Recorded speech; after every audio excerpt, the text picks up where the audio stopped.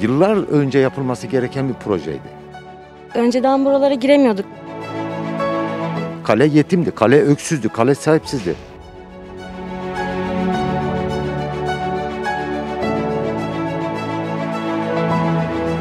Eski hali yıkık döküktü. Buralarda gezemiyorduk. Çünkü hani her an yıkılacak gibi duruyordu. Yani şu an gayet iyi. Kaleye parmaklıklar falan yapıldı. Çocuklar yukarı çıkamıyordu. Hani aileler korkuyordu, gelemiyorlardı. Şu an çok iyi bence. Ben çok beğendim.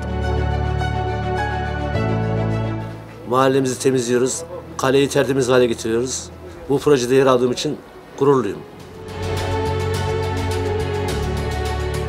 Çatının olup işlerini yaparak tarihi bir eser bırakmak istiyoruz. Bizim de emeğimiz var. Kalenin içinde çalışmalarımız sürüyor. Bizim de bir eserimiz kalsın diye uğraşıyoruz.